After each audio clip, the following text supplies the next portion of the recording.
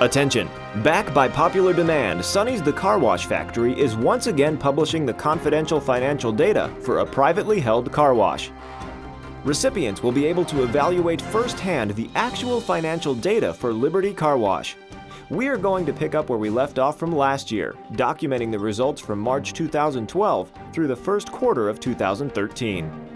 Now in its fifth year of operation under new ownership, this report documents each step taken and the impact on the bottom line, creating an opportunity for this wash to more than triple its previous annual wash volume.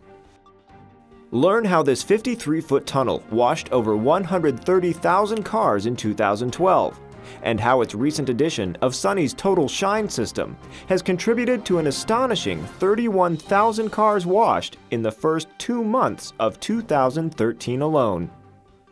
This is not a promotional item. This report will not be mailed or sent electronically. Visit sonnysdirect.com slash show where you can RSVP to have a copy waiting for you at any one of three presentations Sonny's will host at the Car Wash Show, being held April 22nd through 24th in Las Vegas, Nevada. You don't want to miss this unprecedented transparency and the chance to hear about this incredible car wash business transformation. Also, make sure and like us on facebook.com slash Car Wash Equipment.